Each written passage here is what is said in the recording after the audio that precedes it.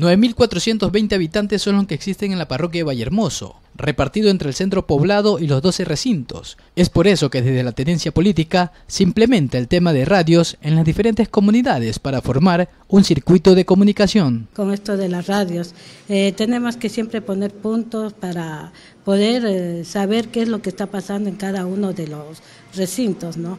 Hablemos de del robo, del crimen, sino también hablemos de cosas muy emergentes. Diga usted un, un picado de la culebra, una persona eh, embarazada que a veces por A o B no pudieron salir, entonces en eso estamos con todas las direcciones que tenemos acá, el subcentro diga usted, el Seguro Social Campesino, que también es base de acá. Actualmente también existen brigadas sectoriales conformadas por 12 personas en cada recinto y barrio, formando parte del Comité de Seguridad Ciudadana. Bueno, la primera estrategia es unirnos todos porque yo siempre vengo diciendo que la seguridad no es, digamos, de, de, la policía, ni de la junta parroquial, ni de la tenencia política, la seguridad viene de ser de todos. O sea, todos tenemos que estar involucrados en este en esto eh, en esta problemática. Actualmente son 10 policías que brindan seguridad en Vallehermoso y Cristóbal Colón.